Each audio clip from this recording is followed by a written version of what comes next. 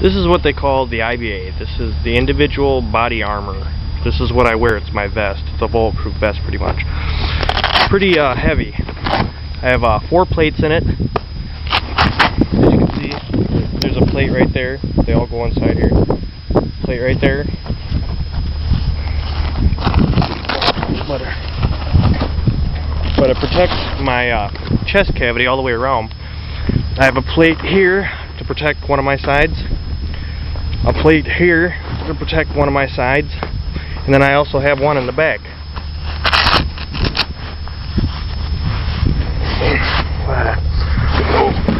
This thing's heavy. The, here's the plate right there. There. That's funny too.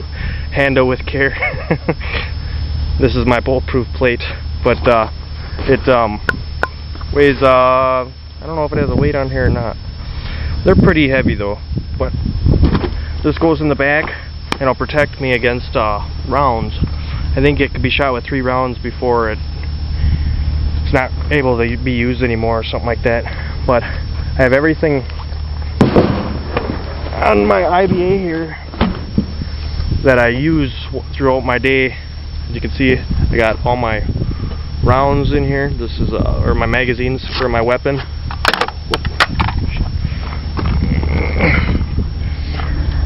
Right there. Carry rounds. This is like a personal pocket here. I keep like notepads, stuff like that in it. Sunglasses. And this right here is all my medical stuff. It has like uh, uh, tourniquets in it in case I'm st start bleeding and they have to cut my circulation off to stop the bleeding. And uh, got a compass. No, yeah, compass right here and a watch that's the individual body armor, the IBA. And the thing goes, I would say fully loaded, probably 50 to 60 pounds. It's pretty heavy. Wear it all the time. But it's real fun to wear hot. You can see where I sweat. This is all sweat from around my collar and stuff like that. Should wash it, but going to be washing it all the time. Alright. This right here is the new Army equipment that they got me wearing in my uh, vehicle. This is uh, the IBA. Um, but they just added some extra armor to it and stuff. Take a look at how much room I actually have to move around in here. As you can see, I touch the complete side there. I can't wiggle around at all. This is without a seatbelt. I have no room to get anything, move my arm around or nothing like that.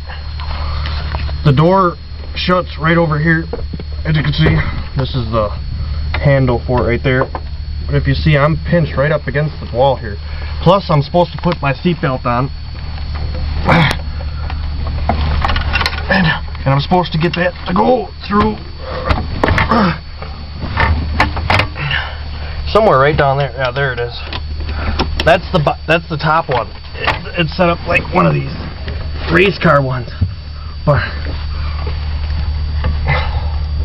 somewhere right in here, there it is, is the other seatbelt. But there, go like that. Now somehow somebody's supposed to reach in the vehicle here to be able to pull me out and they have to reach through all this crap here to get down here and grab the seatbelts and grab me out. Yeah, that's gonna happen.